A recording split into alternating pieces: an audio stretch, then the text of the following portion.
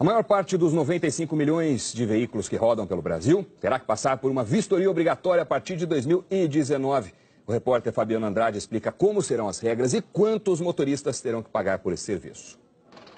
As novas regras para a vistoria foram publicadas hoje no Diário Oficial. A resolução do Conselho Nacional de Trânsito determina que todos os veículos do país devem ser vistoriados de dois em dois anos. A exceção são os carros novos, que só passarão a ser fiscalizados depois do terceiro ano da compra.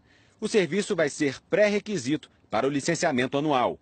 Vão ser conferidos itens como sinalização, iluminação, freios, direção, suspensão, condição dos pneus e rodas, além de itens complementares como limpador de para-brisas e até a buzina. Já vans e ônibus do transporte escolar devem passar pela vistoria a cada seis meses. No transporte rodoviário, os veículos de carga e de passageiros terão que ser vistoriados todos os anos. O CONTRAN diz que o objetivo da fiscalização é evitar acidentes por falhas nos itens de segurança dos carros.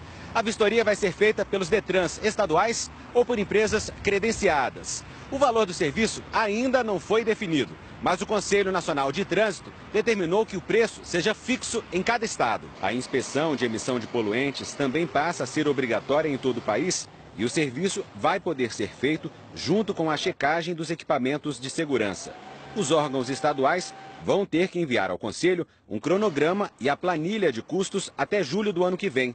A fiscalização deve começar até o dia 31 de dezembro de 2019. O coordenador de educação do Denatran diz que o prazo é suficiente para colocar o serviço em prática. Essa regra, segundo ele, já está prevista no Código de Trânsito há 20 anos. Há um custo. Esse custo será definido por cada um dos departamentos de trânsito em função das características de cada estado. Mas há um item muito importante que é o custo das vidas que serão salvas através dessa manutenção, porque o que a gente busca na realidade é isso, um trânsito seguro que reduza esses números que nós vivemos com eles hoje de acidentalidades e de mortes no trânsito.